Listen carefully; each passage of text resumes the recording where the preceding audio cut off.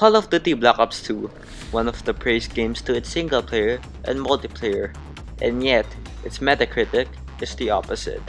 Oddly enough, it's one of the games that is my first Call of Duty. I appreciate its story and its multiplayer, whether you're fighting on the Solar Club or fighting on Carrier. It's something that is memorable. I personally played Black Ops 2 as a kid, which isn't surprising, since most of us do, and back then, Call of Duty and Halo was wild to its trash talks. I feel like I'm a fucking gorilla with a fucking baseball bat fighting a retard with a spoon. Anyways, it has been 9 years, and I always think about Black Ops 2 and want to talk about it, since it has been really long, and it's a game that I have been playing for 1000 hours on my PC or Xbox.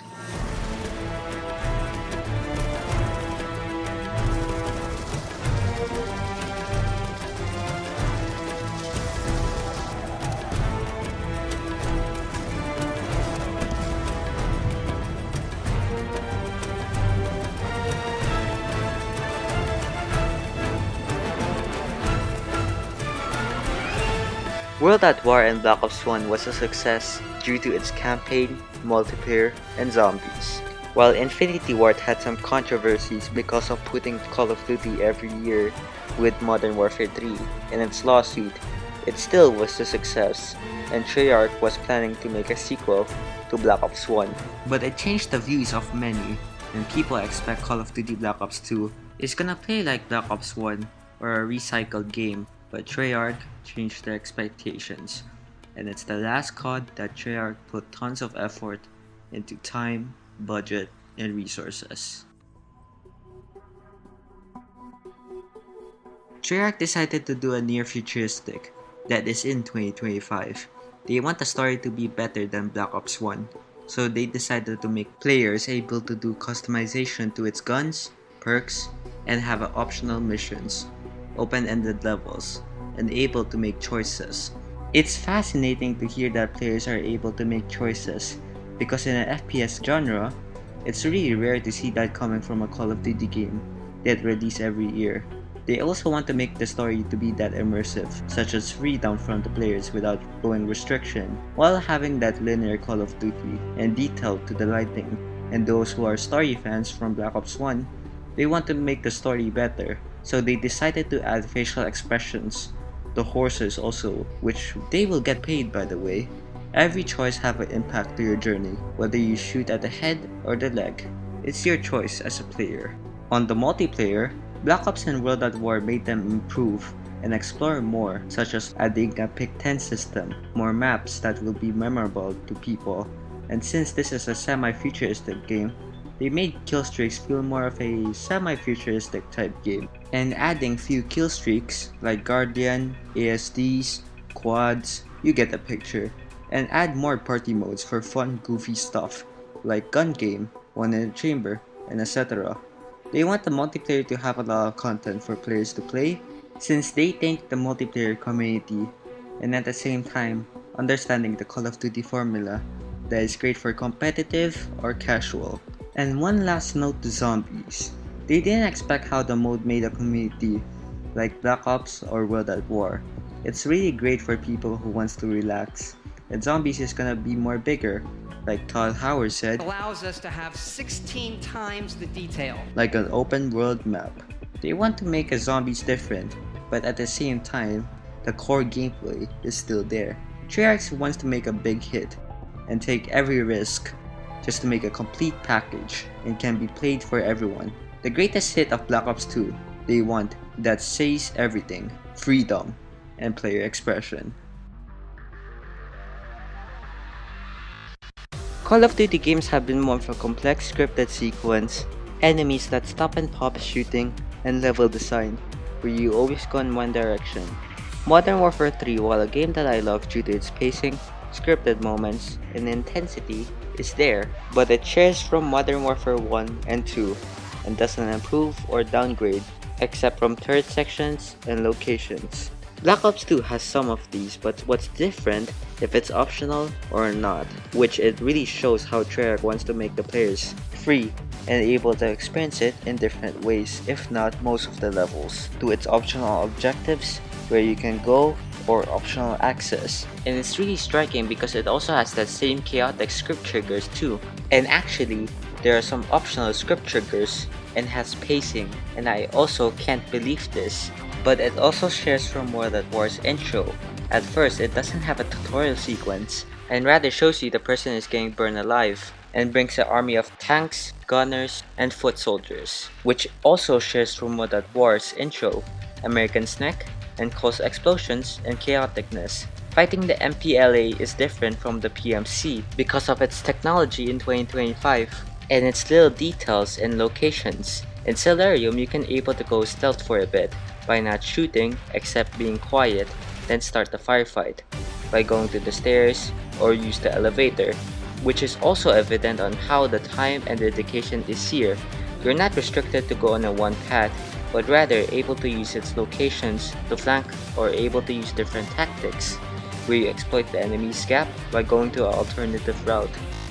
And there are varieties in David's mission, where you have ASDs, quads, claws, hooking enemies, and auto turrets, which are really effective and sometimes can be threatening at times. If you encounter an ASD, you need to flank around or use an EMP grenade. Since the ASD's front is really strong, if you throw a grenade, they'll just deflect it. Quads are like the annoying buggers from drones in Halo 2, and I cannot believe I did another Halo reference. And claws are my favorite because it forces the player to use the light sandbox really well. And the enemy type is so perfect that it only has one flaw, use a grenade launcher. RPG takes like 3 to 5 shots, and a noob tube takes 1 shot. They talk about my one taps. Yeah, as tanky and bulky they are, its weakness is using a grenade launcher. It's really fantastic that the enemy types has a tense to it and can be scary at times and die so undeservingly. And while BO2 has these types, their hilarious bugs that are so funny that it's quite unintended. Actually, not because it's unrealistic, it's because how breakable it is. Uh, what? How did they disappear? What? And Alex missions have intensity to it due to its huge numbers and vehicles. While it also shares from other Call of Duty games, it doesn't from its narrative. You're not a super soldier, but rather a one man in a large firefight. You're not destroying a tank because you're Doom. You use the weapon you brought into just to change the tide from the Russians, while the Mujahideen helps you by destroying it, and it has the memorable firefight since you can go anywhere and able to destroy helicopters freely and doesn't make them invincible. While I died in old wounds so many times due to my idiocy from setting it harden and act like Rambo, you can get stomped if you're careless enough, which brings me to difficulty. Call of Duty's difficulty isn't taken seriously, because you can set it on normal and became a stop and pop shooting. While Call of Duty Black Ops 2 has intensity on harden, it's rather the false tension, or doesn't make you hype for it. Because while customization on paper is really neat, using weapons you're curious, and able to add attachments to your expression, and able to carry two primary weapons on loadouts, three perks, and access points, it rather becomes easy and doesn't make the player excited. Remember when I said noob tubes are able to one-tap a claw? Well, you can just add that, then use it by destroying ASDs and claws quickly, and becomes easy. There are axes that can be used and able to change the tension into false tension. Example, in old wounds, you can use mortar rounds or a nade launcher to destroy a BTR so easily instead of going up to get that weapon from the armory. And in fact, that's my main issue to Black Ops 2's gameplay. It doesn't share from Modern Warfare 3 hardened difficulty, tension, and is able to go on cover, use flashbangs often, make a decisive push, or picking enemies one by one slowly but surely. Black Ops 2 you can able to speedrun this because you have the easy tools to destroy the enemies. In Celerium, it takes like a minute for me to get into the next firefight in Harden. It's not all bad though, because while I may criticize the customization, access, and its perks, it is optional in the end of the day. But if you're playing on a Harden or Veteran, it becomes a must due to its intensity being too much. But you can still die if you run carelessly or like an idiot, because an enemy can simply take you down if you're not careful. Harden is a must if you want to have that decent intensity, which normal doesn't. And while it's quite easy to run this, you can still have consequences by playing carelessly, which normal doesn't achieve. And what about Strike Force? On Harden, it's one of the most tense FPS RTS games I ever played, since you cannot use customization to its loadouts, perks, attachments, and primary guns are limited to your arsenal. Your allies are limited to 8 soldiers, and you need to use the sandbox effectively. You have to keep track of the spawning, locations, and the radar often, using troops to position themselves or wait for reinforcements to prepare for an attack. FoB, Spectre, and Dispatch are my favorites due to its tense and consequences. It's really barely manageable, and that's what I like. You always need to play smart and use the troops effectively to change the tide by defending or attacking. If you complete all the optional missions, it can actually change its gameplay to Judgment Day and dialogue to its story and summaries. More on that later. What makes it hard is if you have a soldier that dies or a turret that is destroyed, it is your own fault since they cannot cover the flank of yours and you need to rethink where to go. And that's what I love about this Strike Force. While there are people who hate it because to its game being hard and the controller being hard to use, I disagree. I experienced it on PC and Xbox and it's not hard to control, but rather you have to get used to it to its RTS mechanics by switching soldiers often and use every advantage you have. There is two issues with the Strike Force though, and I have to agree on this one. You can try to cheat the spawning, which is the first issue, and second, when you didn't save Karma, there is another Strike Force, that is Second Chance. When you rescue Karma and dies, you have to repeat it, and it makes it bullshit since your allies cannot kill a lot of soldiers, unless it's a ASD or a Claw. If you can complete these missions without cheating the Strike Force, that's accomplished to you. And in fact, this is the first time Call of Duty did something unique that pushed the boundaries from the FPS genre, and it's the first time that Treyarch did different to its campaign's gameplay. While it doesn't represent Black Ops 2's campaign, what it does completes it. And speaking about the gameplay, we have to talk about the story. So I'm gonna split the story into two chapters. One is for David, and one is for Alex. I'm gonna tackle Alex first because he's the deepest in the start of everything. Black Ops 2 was one of the games that started to make me appreciate its stories, from games such as Metro Last Light, Far Cry 3, Halo 2. And while I love it, I have to admit, Black Ops 2 introduction is gotta be the campaign's highlight, setting the mood to characters such as Woods being old, Alex, Hudson, and new characters such as Menendez, Alex Sun aka Section, and Harper. This introduction would be perfect if there's two issues I had. One is the weird dialogue. Go back to the army, like you did when Mom died. Dad, you said you'd never go back to the army. You promised me. And second is Harper revealing the villain immediately instead of trying to keep the villain a mystery and make David having a memory loss about him being tortured. In fact, that ruins the first scene of the game about Savimbi trying to make Menendez a mystery. Anyways, after the introduction, Woods tries to tell David and Harper about the story of his experience with Alex. And it's awesome for old players to see Alex Mason and Hudson by the way. Hudson and the Colonel wants to bring Mason back to the CIA because of his best friend getting captured, Woods. Alex mostly thinks that Woods is dead but wants to give a shot to save him and it's the reason why he exists in the MPLA war. And while everything is simple to this narrative, it goes deeper, to a darker hole. Savimbi tells you that Woods is in the cargo run, and after you found Woods, the Russian helicopter tries to kill you until you found the Valkyrie launcher, and found an island that is an enemy territory where you try to hide. One thing that is my favorite and something subtle is while Mason is trying to put Menendez as hostage, you can hear Menendez talking about Muhammad, one of the characters in Old Wounds, at the radio, making the scene when he betrays you more sense. In fact, Alex's missions are rather subtle because it can explain everything about Old Wounds. The reason why Hudson tries to contact the side antagonist is because when he tried to interrogate one of the Black Ops 1 villain, aka Kravchenko, he reveals that Menendez also has men for the CIA, which can be shown when you try to get the CIA memo in Time and Fate. And one fan service that old players remember, Eggman included, is seeing Reznov and making an illusion, which is explainable in Black Ops 1. Even if you're talking to old Frank Woods himself, he reveals some highlights of Black Ops 1, and it's quite a happy memory I had after I finished playing Black Ops 1. And one thing that started to make us empathize with the villain, himself in Time and Fate, is losing his sister because of Woods blowing her up. And Woods can't take his shit because he needs to get his anger out of the way by seeing Menendez because of his torture at the carrier ship, which actually explains why when he encounters him, he still tries to fight back, even though he got shot at the leg in Suffer With Me, or when he finds him, instead of capturing, he tries to shoot him down. Menendez on the other hand, the reason why he takes revenge on US and China is explainable in this opening scene. When you boot up your PC, it reveals that when he was a kid, he had a lot of issues, like his sister getting burns and injuries, his cartel being destroyed, and father getting killed. The cherry on top is also Wood's grenade. What makes it interesting is also how Menendez is also smart.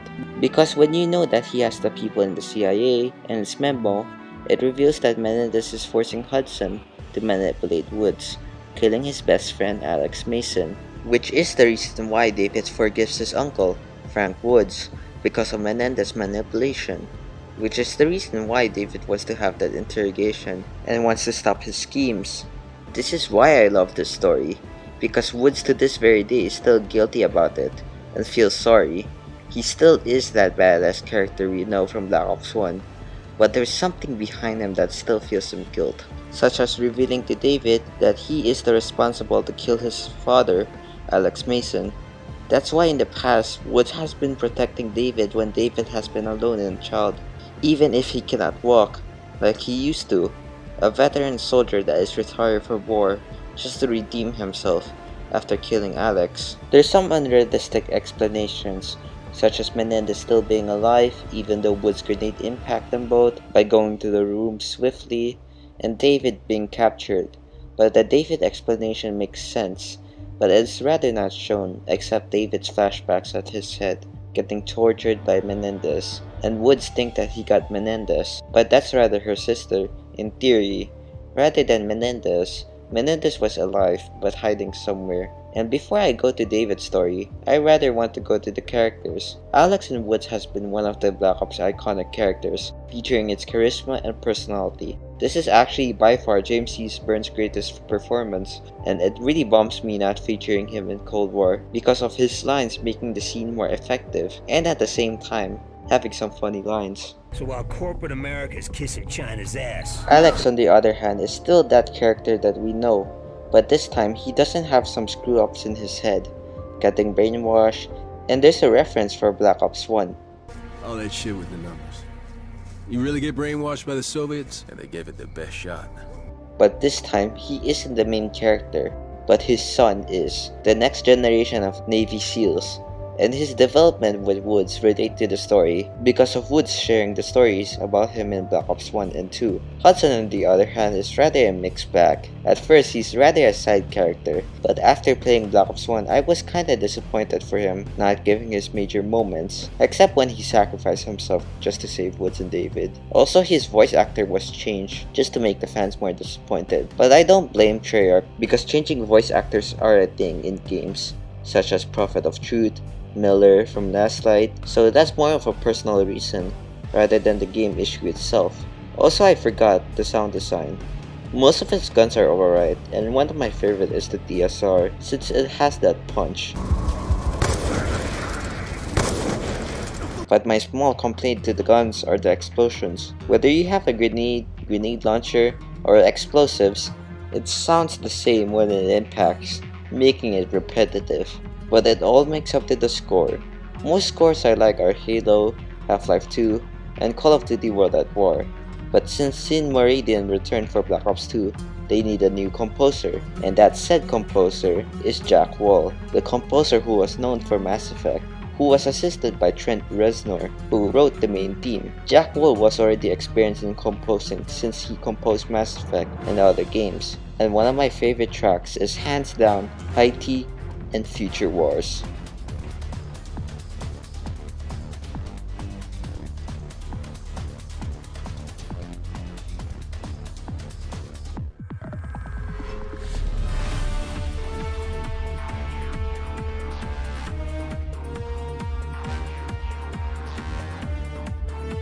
Well, it was a memorable or one of the best soundtracks since every opinion to its soundtracks are subjective, each track suits the mix of the sound. That's the reason why I still play Celerium and Judgment Day still. But there is one problem. Most tracks are rather remixed from the others, like Haiti. One of my favorites is rather a retread from Pakistan Run, and Future Wars is also a retread from Desert Ride. So while I love these soundtracks, they're rather remixes, which isn't bad, since they're not horrible. My problem is how when you hear the same thing again, it doesn't make you excited. Like the first time when you hear it, you love it, but when you hear it the second time, it doesn't share what the first impact did. But that said sound and the story of Alex, trust me, we can go to the next generation. Now to the semi-future, which almost takes in our world because it's 2021. But this is Black Ops 2 in 2025, having the weapon UI look different, the world being more in the war while Salazar said, So at least he's had a 1% leave. and having the old social media Twitter and YouTube really look old as we remember. But anyways, this is the present time, and I gave you the before time of the past with my huge appreciation for the characters and story. Black Ops 2 characters in the present are really different. There's two characters that you remember exist in the present, Woods himself and Mason, if you want to include the ending. Sectioner Alex Sun wants to stop Menendez but doesn't understand what he knows, so he questions his uncle, Woods, for pieces and solving the case by the Celerium. His motivation and other things to do, like stopping the SDC forces from conquering, so while you're in Odysseus doing missions, you're also calling the shots when the side missions do happen, just so you can ally with the SDC forces when you kill its leader, General Zhao and having the fleet of America and China combined just to stop Menendez. Your mission in the first is rather to retrieve the Celerium, and while you do, Eric, one of the scientists, said this. I heard talk of something called Karma. It may be the, the name for the cyber weapon.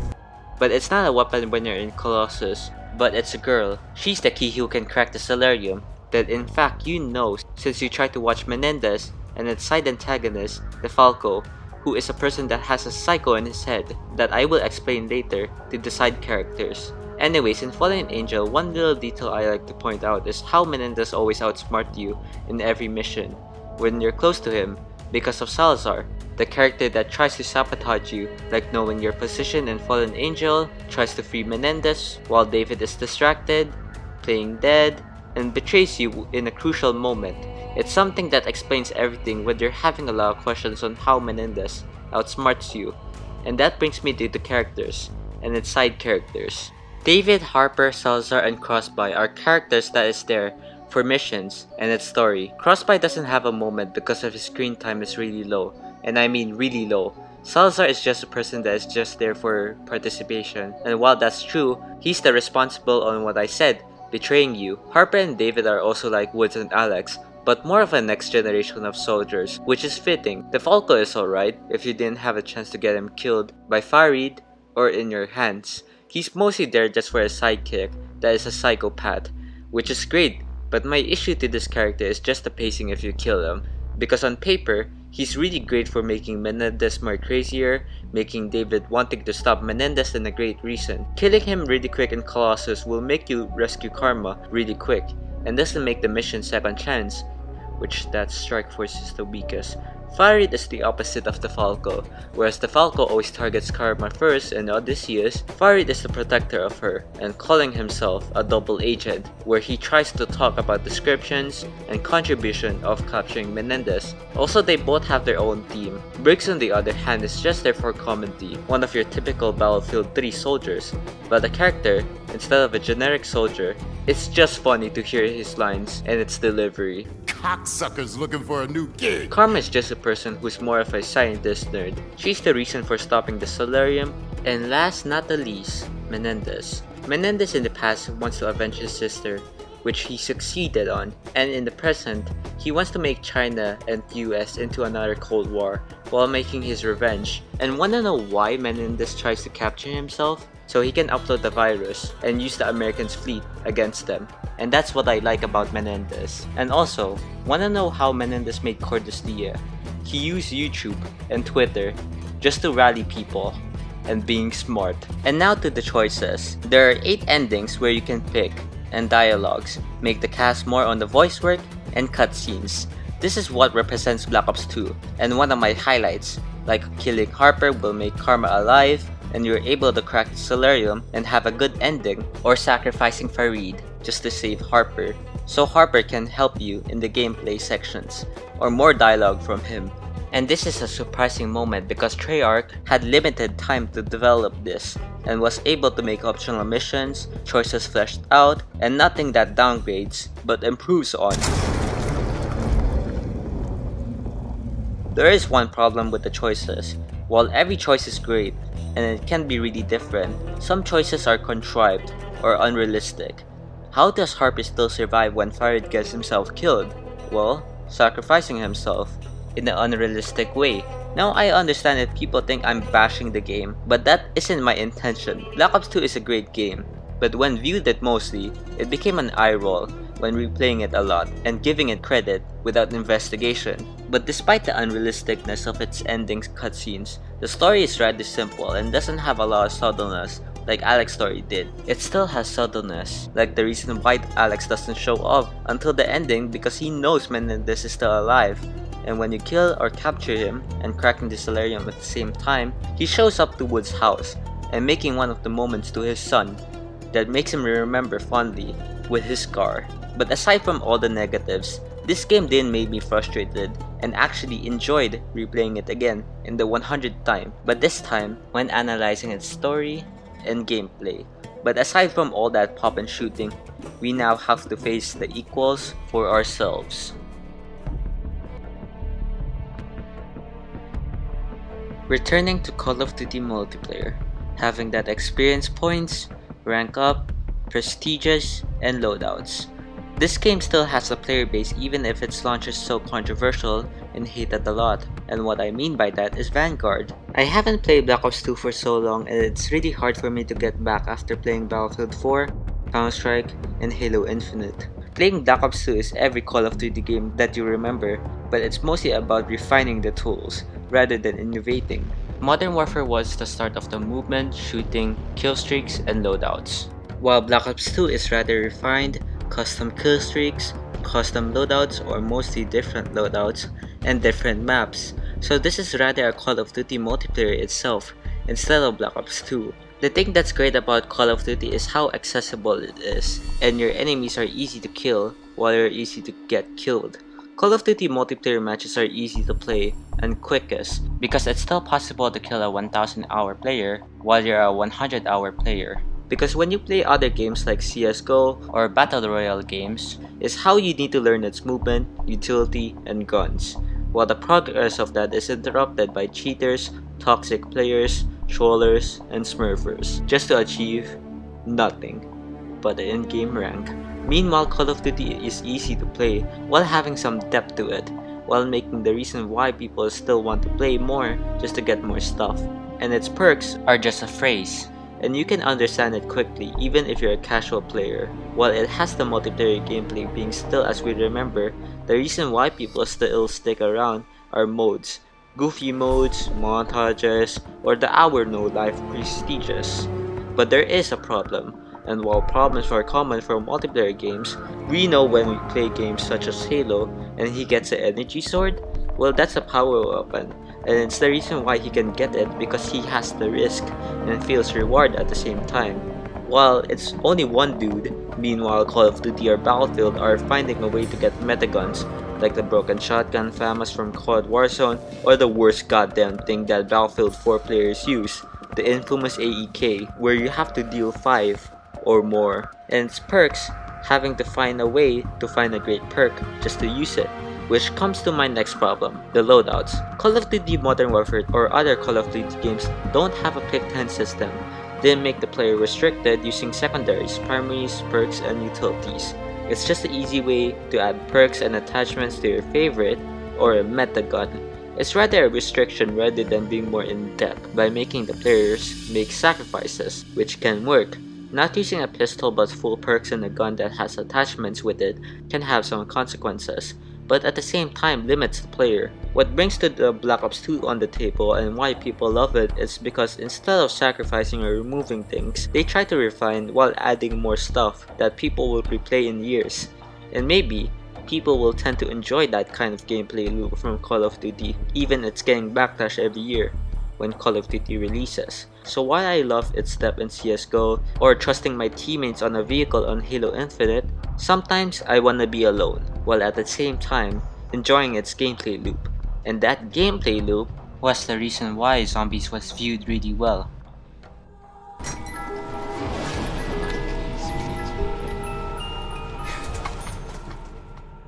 World at War, a game that people remember fondly for its zombies, and Black Ops 1 extended by its maps and arcade mode. And I love the arcade mode. What about Black Ops 2 then?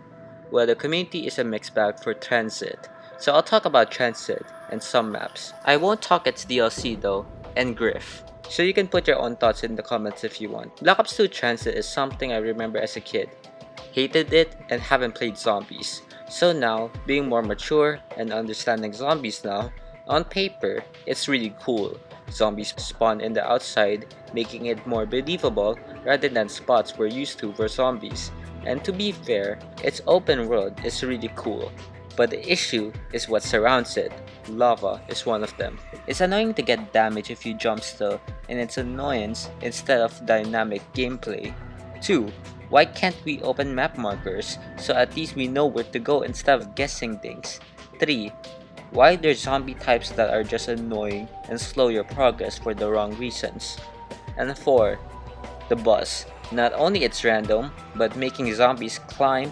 If there's no zombies in the bus, that can be a breather, but I understand why, because the players will stay there forever and ruin waves. So that's a nitpick. But everything is still here. Announcer, quite a bit different. The zombies, pack a punch, and mystery box and when you don't like transit, you can just play two maps for free. And probably I prefer Farmlands, because it reminds me of World at War map, Nacht der Toten, sorry if I pronounce it wrong, because it's simplicity and bare bones. But that bare bones is simple to play, so that depends if you like that bare bones. The sad thing is, Black Ops 2 might be the least replayable for Treyarch due to lack of maps unless you got a DLC there's even no arcade, which is odd, and minor little stuff. Overall, I still enjoy playing Black Ops 2 Zombies Transit. While great, has poor or decent execution, depending on your conclusion. To note, Transit isn't bad, but its minor things stack things up, and that's my issue with Transit. But I wasn't frustrated since I can have a regular zombie experience from these two maps instead of forcing us to play this open world. In conclusion, Black Ops 2 campaign is one of the best highlights for the COD series, while its multiplayer is alright. I respect Treyarch putting risk, while adding some types like gun game from Black Ops 1. And zombies is rather a mixed bag for me. It's really decent, but I prefer every Treyarch zombies rather than this. But, I will probably top this to Sledgehammer Zombies. Exo Zombies, I haven't experienced it, so I cannot bring that up yet. I appreciate Treyarch and this is the last COD that they bring a lot of effort. Treyarch has a reputation of making great campaigns before, and when discussing Treyarch returning its roots, which is the story, from Cold War, I respect them to this day when taking risk. Zombies might be a mixed bag and might be the weakest from Treyarch's library, and multiplayer for me is alright, and this is mostly my subjective opinion. And the reason why I said this is the last known effort is because when they launch other Call of Duty games, Black Ops 3 has content, but its campaign is a shame, but its multiplayer in zombies is the strongest or the alright type. Black Ops 4 launched poorly, but featuring Battle Royale that didn't last long or lack of content, and zombies can be a mixed bag. Cold War has lack of content and a buggy launch due to limited time, so I understand Cold War struggles. And the thing is, Black Ops 2 and Black Ops 1 was developed in 2 years, Maybe the reason why recent Treyarch games launch poorly because people change and everything won't last long. Although, I still respect Treyarch and Infinity Ward because they can at least make a decent Call of Duty game or slightly worse, depends on your view. All we know is that view depends on the future.